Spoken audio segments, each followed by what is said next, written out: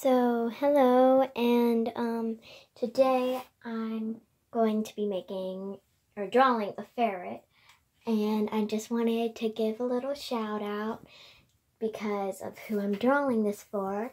It is my BFF because she loves a capital letter ferrets. So, let's get started drawing.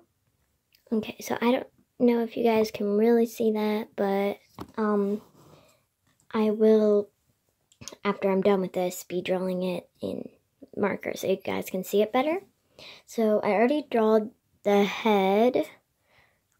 Um, if you can, you can kind of see it.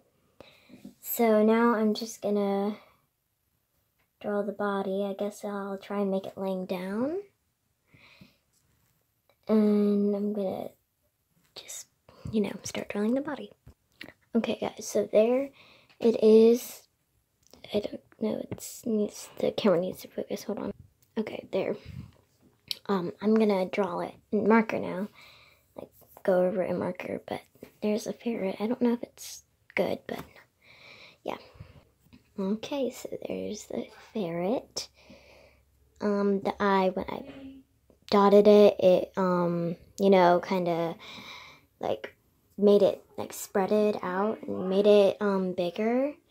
So yeah.